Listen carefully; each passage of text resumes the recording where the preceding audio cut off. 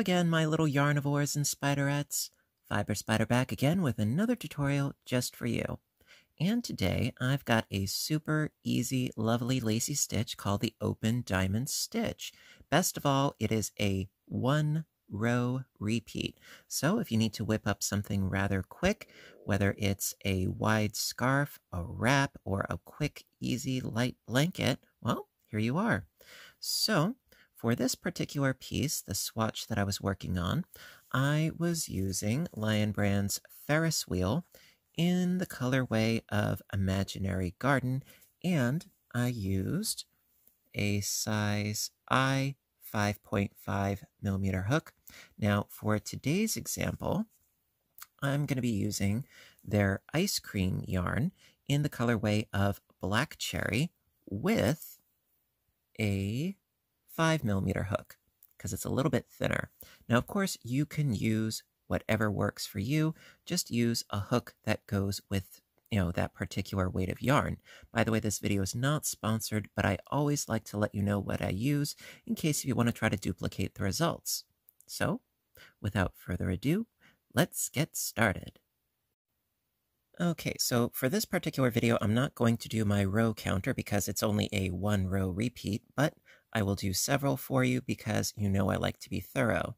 So we're going to start off with our slip knot as per usual and we're going to be chaining in multiples of four.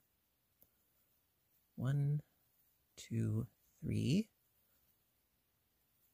four, five, six, seven, eight, nine, ten, eleven, twelve, thirteen, fourteen, fifteen, sixteen. I think should do it for today. Okay, so now for row one, just as long as you have a multiple of four, like I said, you can make this as wide or as narrow as you want to. So for our first stitch, it's going to be a double crochet into the sixth chain from the hook. So one, two, three, four, five, and six. So into that sixth chain, double crochet.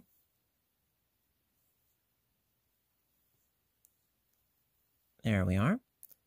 Chain up one, and then into this space on this bar, three double crochets. One and two and three. Okay, that's our first little cluster. Then skipping three chains, one, two, three, into the fourth chain, double crochet.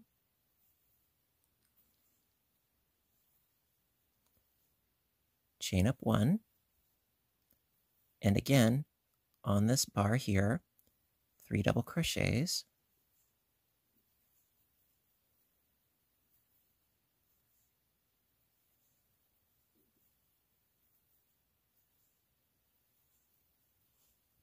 Okay. Skipping another three chains. One, two, and three into that fourth chain. Double crochet.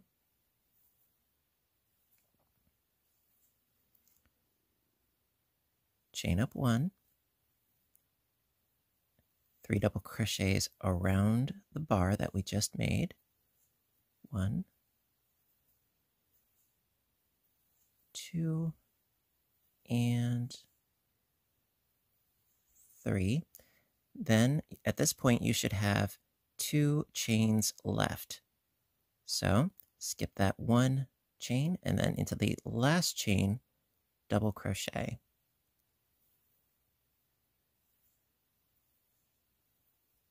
And there you have it. That is the end of the first row. Okay, so for row two and for every subsequent row thereafter, chain up three, turn the work, and do a double crochet into the third double crochet. Now, it looks a little bit fuzzy if you try to identify it from over here. So what I like to do is after yarning over, one, two, and then three. You know, it's a lot easier to see if you're going from the right to the left. So into that third double crochet, do a double crochet, chain up one, and then three double crochets around the post.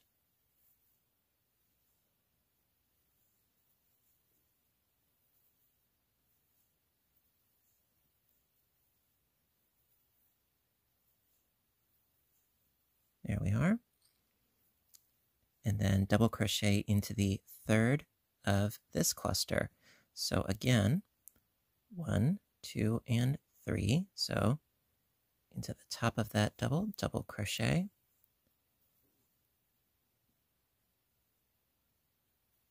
And it's a little bit fiddly at first, but once you get it established, it's really a lot easier. I will say that. So uh, you do your double crochet, chain up one, and then three doubles around the post.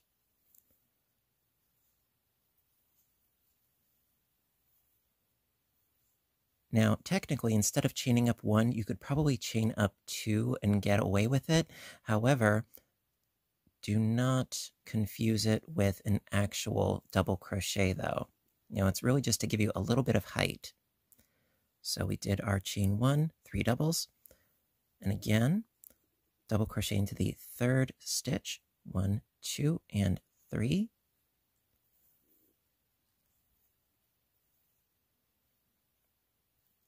There we go. Chain up one and then three doubles around the post.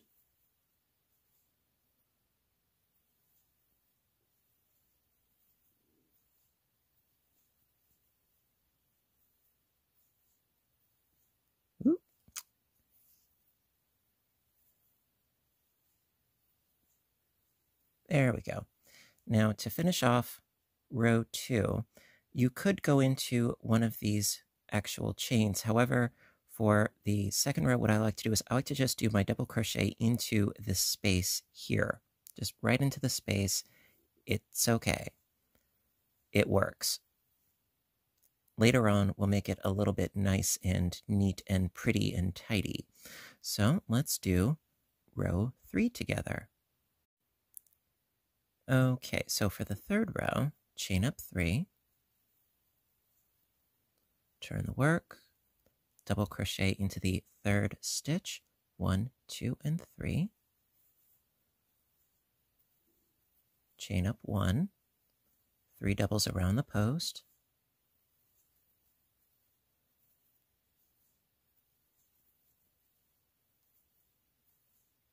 There we go. Double into the third stitch, one, two, and three.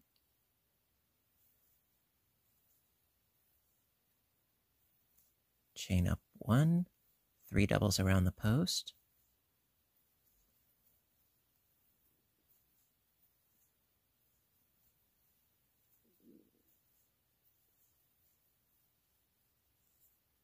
Double into the third stitch, one, two, and three.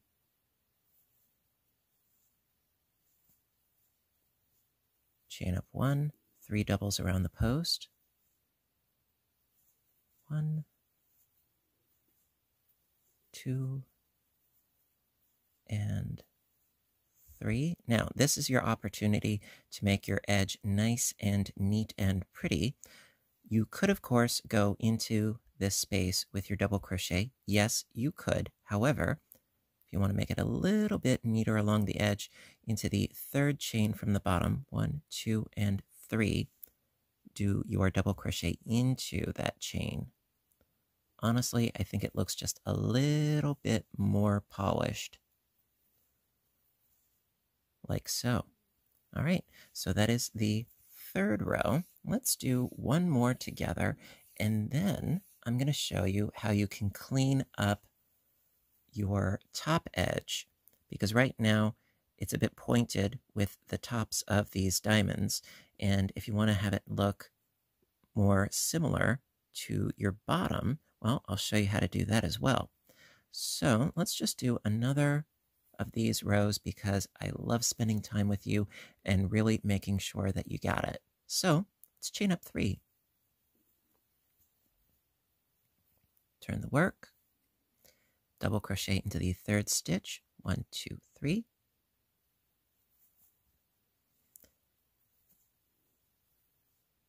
Chain up one, three doubles around the post.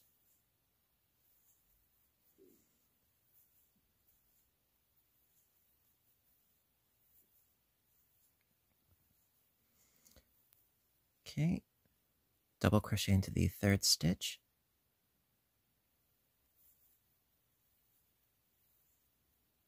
There we go. Chain up one, three doubles around the post.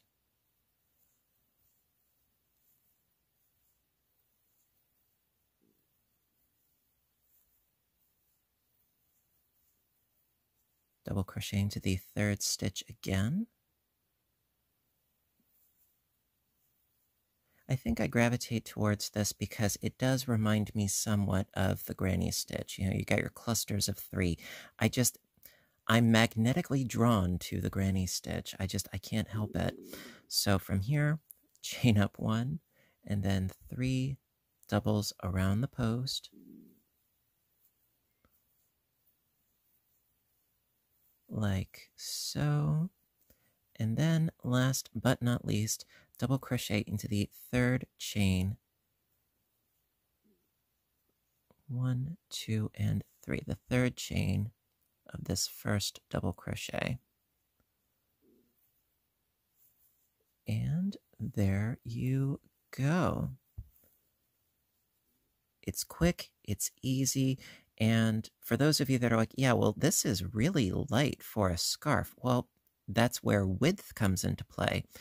Anything that is really lacy immediately gets warmth if you make it really, really wide. Well, then you bunch it up and then, you know, it will create warmth, believe it or not. Um, or if you just want something light and drapey, this works wonders. So at any rate, now I'm going to show you how to do the finishing top edge to make it really polished. Okay, so to do the finishing top edge, what I like to do is to chain up five. One, two, three, four, five. Turn the work.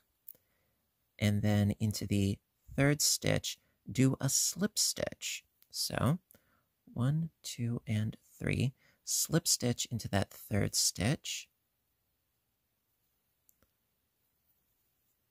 chain three,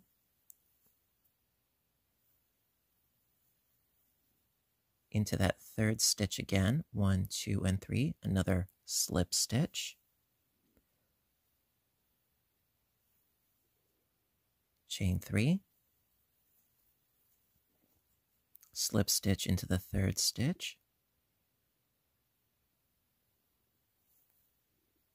There we go. And then last but not least, chain two, and then double crochet into the third chain once again.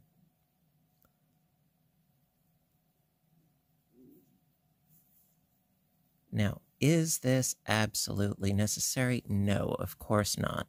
But if you want to have a nice sort of blocked out edge on all four sides, I really think that it gives it, you know, a, a little extra, a little extra finishing. It's like a little bit of polish on an old piece of wood, right? Hmm. all right, so that concludes the open diamond stitch. Really fun, really lacy, and I absolutely love it as per usual. And as per usual, thank you so much for joining me today. I hope you like this, and if you did, please give a little thumbs up button down below. You know I appreciate your appreciation as always. And you know what to do until next time, right? I want all of you to stay inspired, stay caffeinated, stay stitching, and please stay safe. Take care of yourselves and each other, and I will see you in my next video. Bye for now, everybody, and have a great day.